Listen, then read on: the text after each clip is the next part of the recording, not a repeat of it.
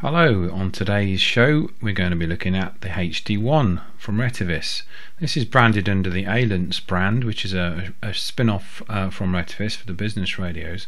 This is a, uh, a dual band uh, radio, it uses the DMR uh, Tier 2 standard protocol. It's compatible with the popular MOTOTRBO Series Tier 1 and Tier 2 standards using encryption, as well as other, other makes and models of DMR supported radios. It's also compatible with any existing analog two way radio that you've got, UHF or VHF um, frequencies, and so that makes it easy to migrate over to digital and I have a radio that does both in, in your hand there and uh, unlike a lot of them, almost all of the uh, programming functions can be done from the keypad on this one, with with the exception of a couple. Um, I think you'll agree. It's a nice looking uh, unit. This it's like a cross really between. It's like a GD77 on steroids. That's the best way I'd describe it. Um, it's got a really nice feel in the hand. It feels rugged, feels very very well made. And even just little details like the control knobs and the overall finish just seems and feels a lot better than some of the cheaper, more affordable radios. This one retails for about two hundred pounds, I believe.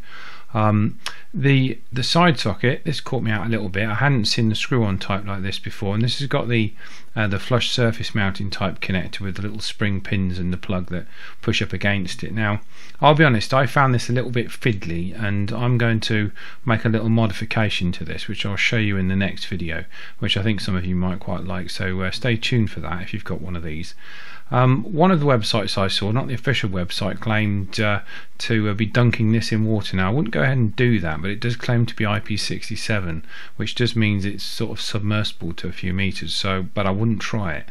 Um, the belt clip, um, it was okay. I've seen sturdier, I'll be honest. Now this is the programming cable with the three-pin spring clip and the what I found to be a slightly fiddly screw, but I have got big sausagey fingers, and this is the troublesome uh, prolific chipset driver plug, which you'll see about later on, which um, I'd forgotten just could, how they, how problematic they could be.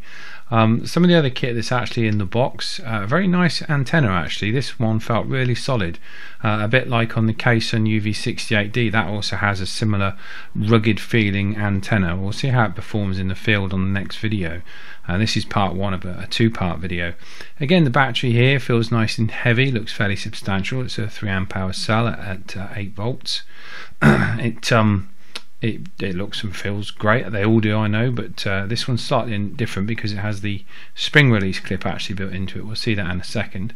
Um, if you're in the UK, they will supply this with a, a wall wart type charger here. The writing on here was so small I could barely read it, but um, it's uh, it's a 12 volt output uh, unit, uh, giving 8.4 at the charger base to uh, charge the batteries with. The actual uh, charging base itself was usual fare, fairly. I haven't seen one of this design before. Many of the DMR radios share, share the same sort of design, don't they? But um, this one I haven't seen, but it looks uh, it looks that it'll do the business.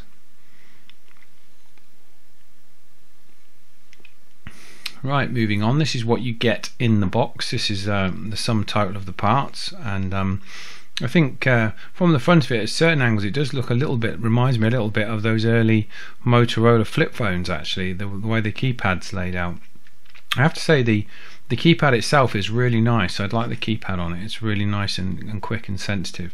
This caught me out a little bit. I haven't looked at any reviews of this radio before I I uh, I got this one, so I really was going flying blind. I wanted to make my own decisions upon it, so I didn't want to be uh, swayed by anyone else. So this took me a bit of a while to work out uh, the battery side of it, but um, so I had a few attempts at sliding it on because pretty much most of the radios that I've got the battery slides on, and I, I, couldn't see any side grooves, so I was struggling a little bit just to see exactly how this clicked together, and um, I had a couple of attempts, and uh, and then I could see I could see there wasn't any side grooves. It just pushed down. It was a, like a press fit. I've not seen that before, so slightly unusual. There probably is one or two radios in my collection that use a clip on the battery, but I've not seen this actual particular way of mounting the battery. But it seems very secure once it's actually fitted to the battery itself. So I don't think that's going to be going anywhere. So I'm quite pleased with that actually. So that's a good thing.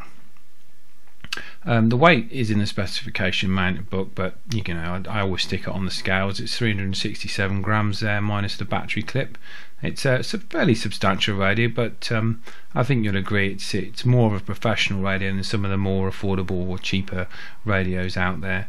So this definitely, you know, it's it's a radio that that businesses could definitely use, and I think it would survive uh, the daily grind of uh, the abuse that uh, people in the workplace give stuff. It's certainly got that feel to it. It's certainly got that more ruggedized feel. I like the um the you can fit a custom you can upload a customized splash screen to that as well if you want. So uh, you can actually put any any image you want on there when it starts up, which again is quite a nice feature. The screen is nice and bright. It's very very similar to the Anytone screen to the 878. Um, now this was the programming lead. I'm not a huge fan, I'll be honest. Like I say, I've got quite big fingers, and um, I struggled a little bit with this uh, first off getting. I mean, okay, I'm actually doing it for the camera, so it makes it more awkward. But I have got a way around this, which is going to make connecting this much much quicker. So again, if you if you wait for the second video, you'll see what I've got planned for that. I think you'll find it quite interesting.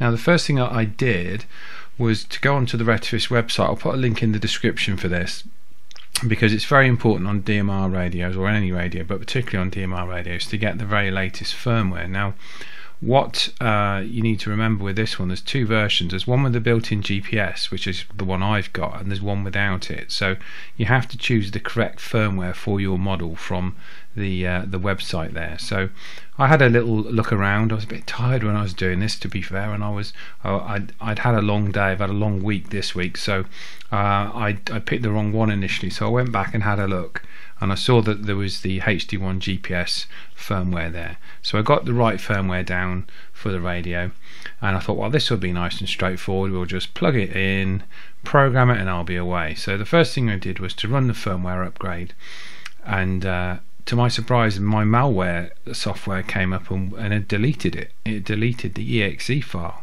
Um, it had seen it, something in the code, it had seen as a malware threat. So I had another couple of attempts at uh, downloading a different version. I tried, uh, I tried uh, putting it in the exclusion list in in the malware software, but it still kept doing it. So in the end, I actually actually had to risk it and switch off the malware software to install it. And when I did that, I then tried to connect up to the radio and I got absolutely nowhere. I had two or three attempts at doing this and I'd totally forgotten about the issue with prolific drivers because I use an FTDI chipset lead with my kit. I don't have this issue with the prolific drivers being updated in Windows. So I never see this problem. So I'd kind of forgotten about the chipset driver problem that um, any of uh, anyone that's regularly programs radios and has a Windows 10 machine will know about that the prolific driver, prolific chips were basically copied and that the fake versions that are included in lots of these cheaper programming leads do not run correctly on the latest Windows drivers. You have to run old drivers, 12 year old drivers, to actually get it to work. And if you go to the Miklor website, M-I-K-L-O-R.com website, there's a section there which, which here which explains all this and it, and it also uh, provides links to the correct software and the correct drivers for your machine and it shows you some of the differences in the leads and the plugs. So you can make sure that you get the actual correct drivers here. Here are the drivers for my machine. Um, I, I installed the drivers, but then I also had to go into the device manager because it still insisted on using the latest drivers. So I had to go into the device manager and actually downgrade the drivers to the 2007 drivers. And then it still didn't work. So I was starting to get really, really puzzled. I put the put the radio back into firmware update mode and to do that you key up and hold down the button just underneath the main PTT and turn it on and then that puts the radio into a mode where it can receive its new firmware and it's indicated by this little red light on top of the radio. So I had done that and uh, still I couldn't get it to program through the PC I'd got the prolific drivers got everything sorted.